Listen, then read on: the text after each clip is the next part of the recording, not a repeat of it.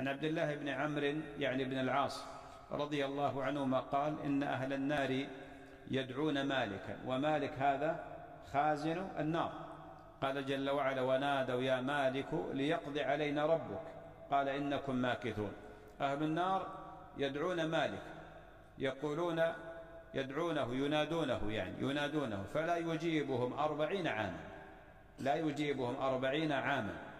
والأعوام هنا أعوام الآخرة وليس أعوام الدنيا وإن يوما عند ربك كألف سنة مما تعدون فلا يجيبهم أربعين عاما ثم يقول إنكم ماكثون يعني بعد هذا يقول إنكم ماكثون. ثم يدعون ربهم فيقولون ربنا أخرجنا منها فإن عدنا فإنا ظالمون. فلا يجيبهم مثل الدنيا يعني مثل عمر الدنيا. الذي قضوه الذي عمر الدنيا بأكمله. لا يجيبهم مقدار عمر الدنيا. ثم يقول اخسأوا فيها ولا تكلموا.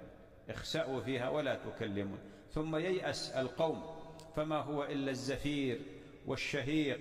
الزفير طبعا ما يكون من النفس في الصدر والشهيق ما يكون في الحلق. فما هو إلا الزفير والشهيق؟ تشبه أصواتهم أصوات الحمير.